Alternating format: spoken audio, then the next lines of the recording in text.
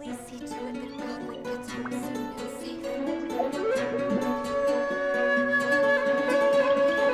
and safe.